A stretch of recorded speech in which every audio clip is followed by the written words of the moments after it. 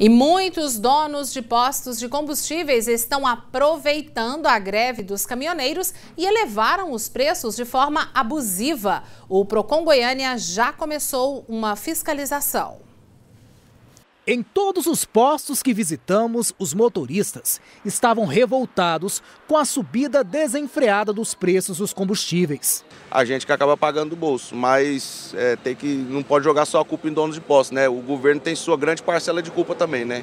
Então a parcela do governo e a culpa também dos empresários oportunos, né? A gente depende do combustível e tem essa pouca vergonha, né? Acontece isso aí, quem paga o pato é a gente.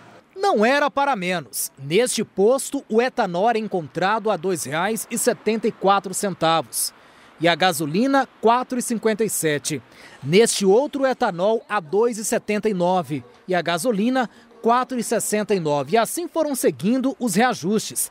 Neste aqui, a placa do etanol mudou de R$ 2,69 e aumentou 10 centavos. Para tentar barrar a escalada dos preços, servidores do Procon Goiânia reforçaram a fiscalização em vários postos de Goiânia. Nós estamos requisitando é, as notas fiscais das últimas compras, verificando os preços litro por litro de combustível, verificando o estoque dos combustíveis nos postos, vamos é, é, fazer os cálculos e verificar esse aumento. Se for um aumento abusivo, claro que a gente vai tomar as providências que devemos tomar.